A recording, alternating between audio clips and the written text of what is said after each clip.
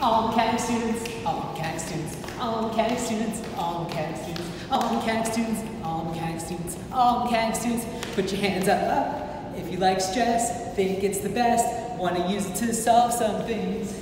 But it's hard to recall the equations for it all, so you're looking for an easier way. Just move things here, square things there, and you're through the derivation. It's a simple trick, solve things quick, you won't be mad at me. Cause if you like it, you should draw a ring for it. If you like it, you should draw a ring for it. You'd be mad to use the equations for it. If you like it, you should draw a ring for it.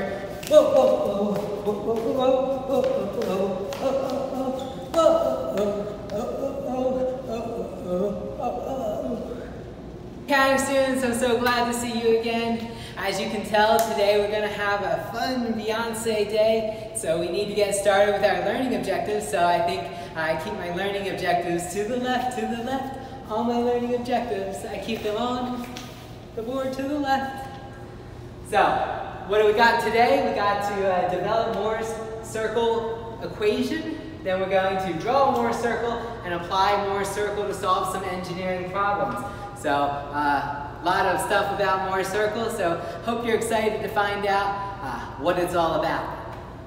Last lesson we talked about stress transformation equations. And these were the stress transformation equations we derived. So remember, uh, we were looking at an element, our friendly little block, we pull it out of an object, and we said that we have stresses acting on it.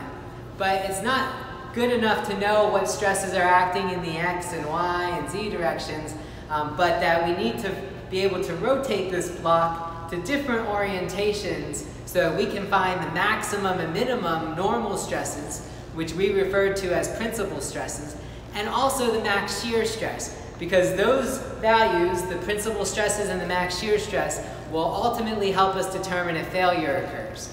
So we rotated this block and we said at some arbitrary direction, we could solve for what we called sigma x prime. So that was sigma x prime and we could plug in uh, sigma x, sigma y, and tau xy into this equation along with the angle of rotation and we would be able to solve for the stress, the normal stress at that arbitrary angle. We did this for sigma y prime and we also solved for the shear stress at that angle. And so that was the whole deal with the stress transformation equations, but these are somewhat long and I think difficult to remember. So we're going to talk about Mohr circle today, which is going to help us remember these without us even knowing it. So I hope you're excited for that. In order to derive Mohr circle, we're going to start with the stress transformation equations that we had developed last lesson. All right, so I want to rewrite this first equation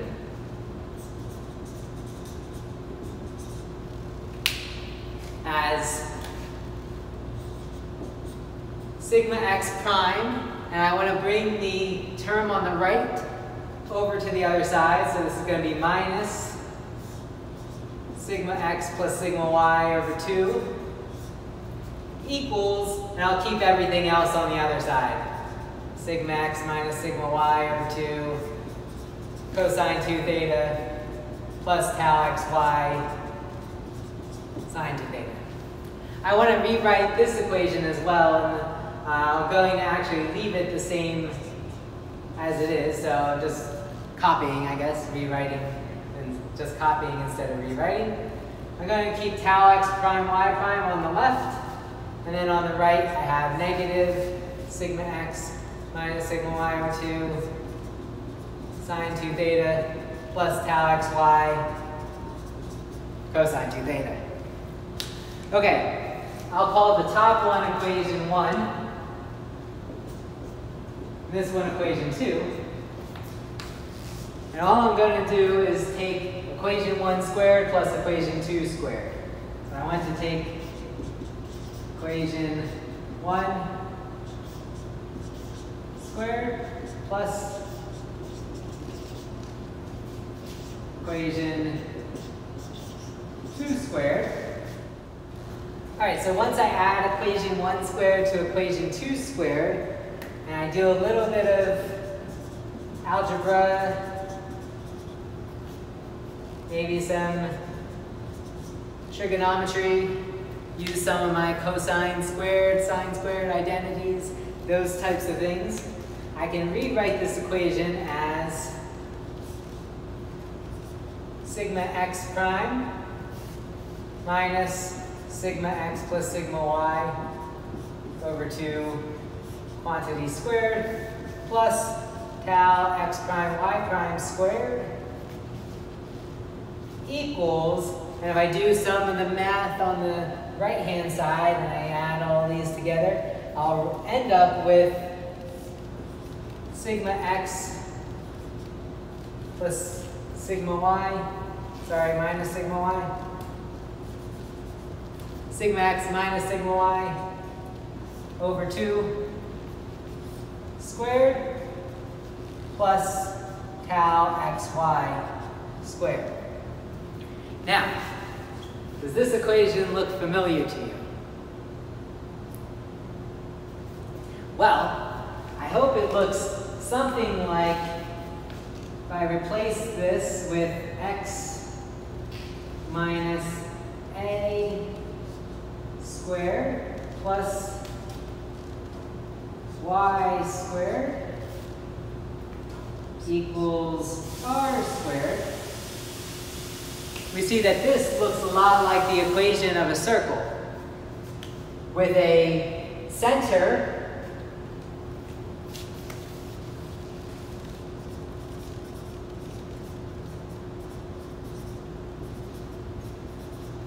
with a center at a comma 0